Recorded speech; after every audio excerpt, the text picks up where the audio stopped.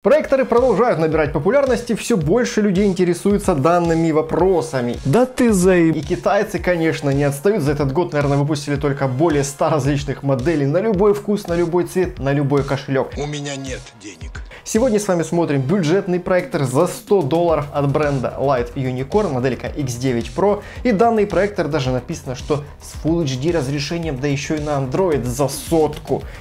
Какие есть особенности, как показывает, кому подойдет, будем с вами разбираться, тестировать. Всем привет! Начинаем!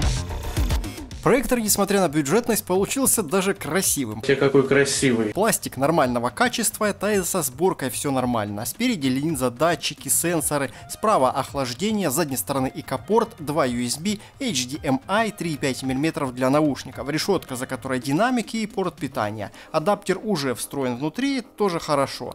Я согласна. Сверху одна кнопка включения-отключения с подсветкой, снизу забор воздуха, резиновые ноги и резьба для установки на штативы или потолочное крепление. По характеристикам кратко. По заявлению это реальное здесь у нас Full HD разрешение 1080, звук моно 5 Вт динамик, яркость 600 ANC, поддержка Wi-Fi 6, срок службы чипа 50 тысяч часов, это там более 10 лет, Bluetooth 5.0, Android на борту и даже электрофокус. Оптимальная диагональ 80 дюймов на расстоянии 2,5 метра метра, 1 гигабайт оперативной, 16 встроенной памяти. Включаемся.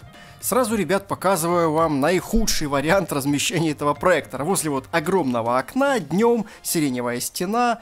Я думал, тут вообще ничего видно не будет, но изображение все же просматривается. Ситуация, конечно, становится в разы лучше, если прикрыть штору, уже можно фоном что-то смотреть. Но проектор такой раскрывается только на белых или светоотражающих экранах. Цена на них примерно 10-20 долларов. И вот такая картинка уже на 100-дюймовом светоотражающем экране получается. Здесь уже точно можно получить нормальное качество. Даже если я врубаю освещение в комнате, краски полностью не растворяются. Понятное дело, что ждать чего-то прям вау, необычного чуда не стоит. Вспоминаем про ценник, но качество реально неплохое. Возможно даже, что реально близко к Full HD. Пиксели не огромные, так что хороший вариант. Меню максимально простое, хотя это и Android. В базе есть YouTube и еще несколько других программ. Вы можете без проблем ставить свои, как из магазина, так и с флешки с дисков. По настройкам тоже все просто, здесь останавливаться долго не буду, крутить ничего не нужно, если вот прям включили, в базе все работает хорошо.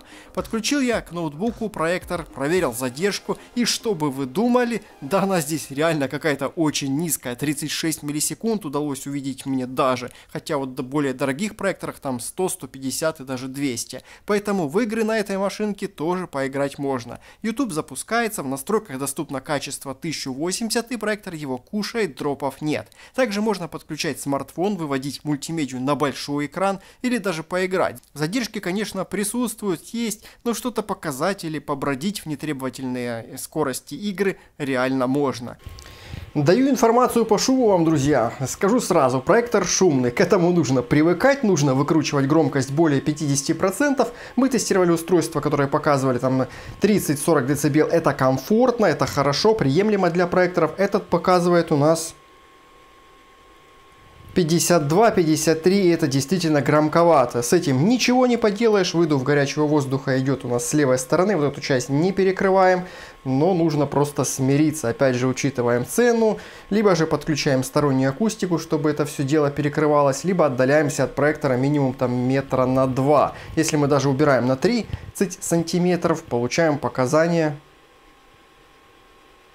45-46 дБ. Итак, что получаем по звуку? Здесь заявлен один динамик, 5 Вт мощности. Хотелось бы, конечно, стерео, но опять же отталкиваемся от того, что это бюджетный проектор. Звук неплохой, он перекрывает шум проектора уже где-то на 50-60% громкости. И стандартный динамик в 5 Вт можно использовать в комнате примерно там 10, наверное, 15 метров квадратных. Если у вас больше площади, можно подключать какие-то сторонние динамики, акустику по проводу или без. Здесь Bluetooth 5.0. Включу вам чисто через микрофон послушать, как играет данный проектор. Подойду непосредственно к нему. Динамик находится сзади. И сразу скажу, звук хороший, ничего не хрипит. На максимальных громкостях костях, все хорошо, корпус не дрожит и никаких таких посторонних шумов нет, четко, красиво, но, конечно, низов не хватает и не хватает стерео. Но для своей цены, повторюсь, нормально.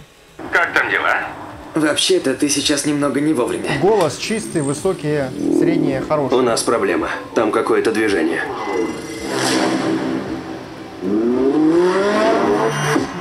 У нас есть 15 минут. Начинаем. Погнали!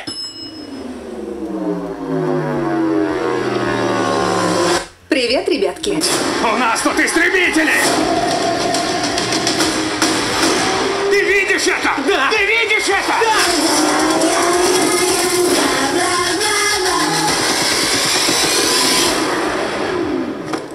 Простите, что наорал. Добро пожаловать в мир гигантских магнитов!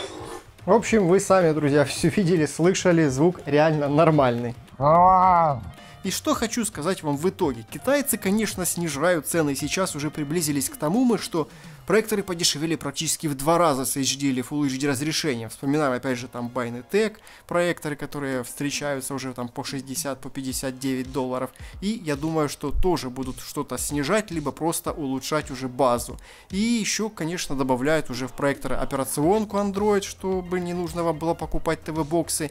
Как мне кажется, это хорошо. Эта версия, как для знакомства вообще с проектором, не самый плохой вариант, но, конечно, шумит как пылесос. Это единственный, пожалуй, такой вот огромный недостаток данного проектора. Если вам подходит данный проектор по качеству, по бюджету, то ссылочка, где его приобрести, находится в описании. Эту версию после обзора сможете еще дешевле забрать в нашем инстаграм BillStore.ua. Там есть и другие проекторы, и цены максимально низкие. Заходите, сравнивайте, выбирайте, покупайте. А мы дальше будем искать разные устройства из Китая не только. И чтобы быть в курсе всех событий, чтобы экономить, подписывайтесь на наш телеграм-канал Китай Близко. Там еще и конкурсы проходят. В общем, жду вас там. Всем хорошего настроения. Увидимся скоро.